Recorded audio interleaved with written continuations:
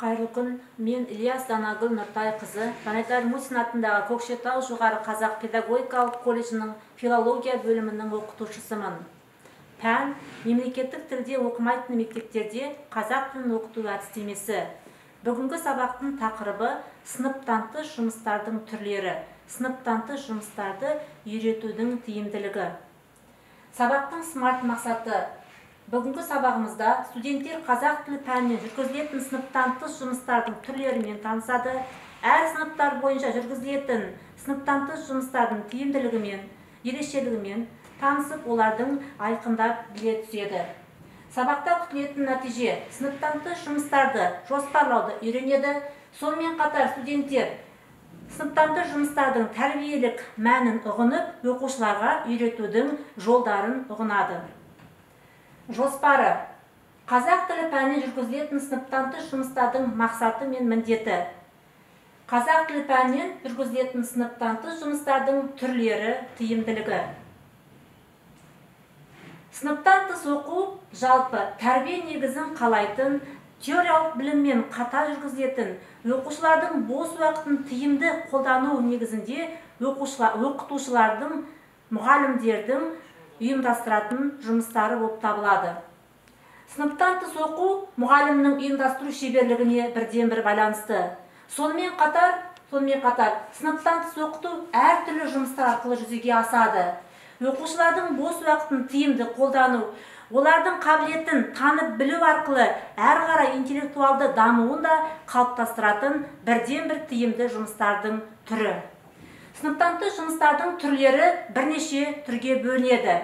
Тіл материалдарына байланысты оқушыларды ауызша және жазбаша түрде сөйлеуге дағдыландыру өткізілу тәсіліне байланысты үнемі жүргізілетін кейде жүргізілетін және сыныптан тыс жүргізілетін жұмыстарды бірнеше тәсілдерге бөлу арқылы осындай түрлерін пайдалана алады оқушылар. Қатысу санына қарай жеке топтық және көпшілікпен жүргізілетін сыныптан тыс жұмыстар болып бөлінеді. Келесі сыныптан тыс жұмыстардың қандай түрлері бар? Бірінші үйірме жұмыстары конференциялар викториналар олимпиадалар пән апталықтары және онкүндіктер енді үйірме жұмыстарын тоқталатын болсақ сыныптан тыс жұмыстардың күре тамыры ол үйірме жұмыстары. Оқушылардың пәнге деген қызығушылығымен қатар белсенділігін көтеру мақсатында мектептерде үйірмелер жұмыс жасайды. Үйірмелер әртүрлі бағытта жұмыс жасауы мүмкін. Үйірмелерді сынып жетекшілері қазақ тілі пәнінің мұғалімдері жылдық жоспарға сәйкес және өнерпаз оқытушылар ұйымдастыра алады. Арнайы жоспар жасалады. Үйірме жұмыстарының түрлері қандай? Үйірме жұмыстарының түрлері бірнеше түрге бөлуге болады.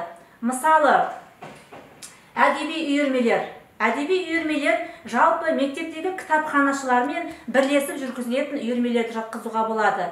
Яғни кітап достары абайтану үйірмесі кітап білім бұлағы.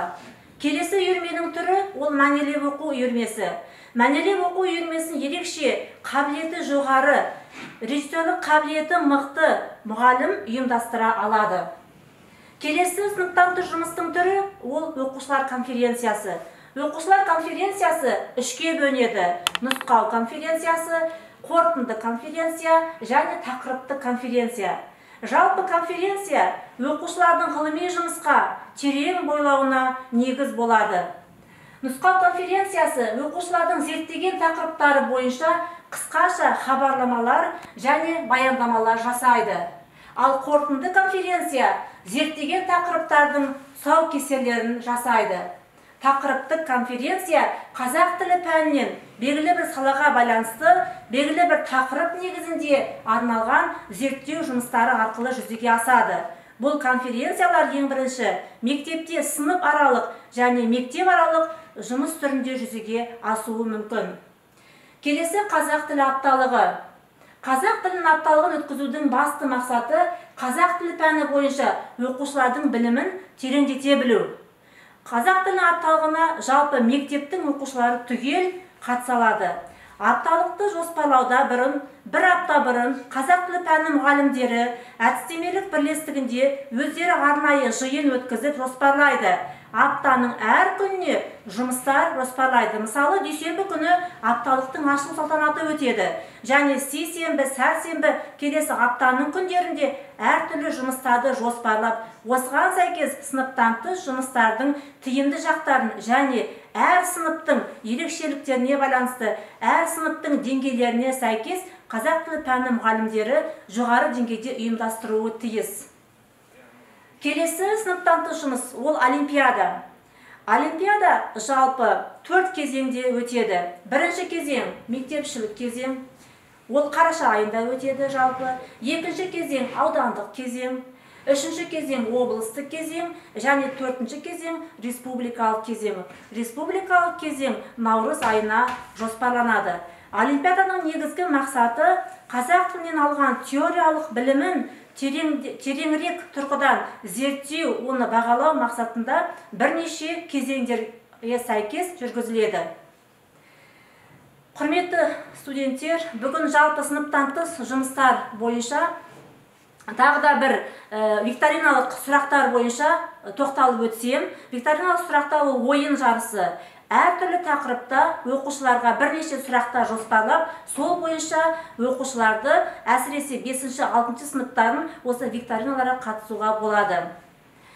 Сабағымызды қорытындылай келе сыныптан тыс жұмыстар сыныптан тыс оқытудың қай жұмысы болмасын ол тәрбиелік мәнді жүзеге асырып оқушылардың теориялық біліммен қатар жан жақты саналы түрде жан жақты интеллектуалды тұлғадан рухани тұлғадан адамгершілік тұрғыдан дамуына үлесін қосуы тиіс.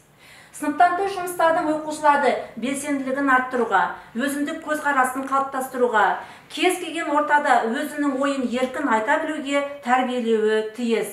Сыныптан тыс жұмыстарды оқыту тәрбие саласында барлық жұмыстарды әрі дамытатын әрі жалғастыратын мақсатты көздейді. Құрметті студенттер сіздерге тапсырма. Сыныптан тыс жұмыстардың ішінде олимпиадалардың тапсырмаларын және пән апталығының жоспарларын жасауды ұсынамын. Назарларыңызға рахмет.